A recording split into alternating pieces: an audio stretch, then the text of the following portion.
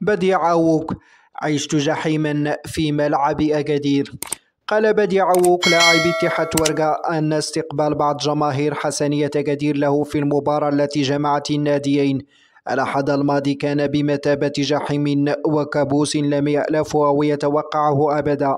وصرح أووك بأنه هم بتقديم باقة ورد لجماهير ناديه السابق الذي شهد انطلاقاته تقديرا منه واعترافا بدين هذا النادي عليه لكنه تعرض للرشق بالمقذوفات والقرارات. وقال أووك عشت صدمة عنيفة فوالدي كانوا بالمدرجات وأسرتي كذلك وتأثروا نفسيا جراء ما شاهدوه وأضاف أووك. تأثرت بذلك قبل المباراة. لقد كنت أحمل صغيرتي بين ذراعي وقدمت بقة ورد للنادي الذي شهد انطلاقتي. لكني فوجئت بسيل من الشتائم تنهال علي ومقذوفات.